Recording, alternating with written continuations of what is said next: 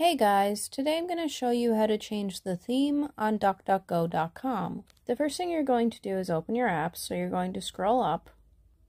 Now go to your web browser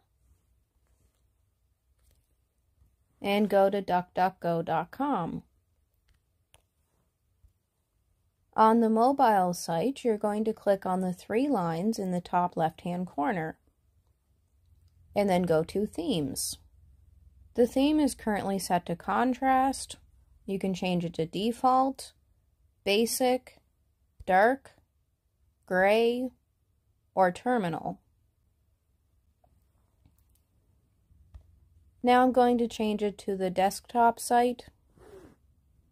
From the desktop site, you're going to click on the three lines in the top right hand corner and then go to themes.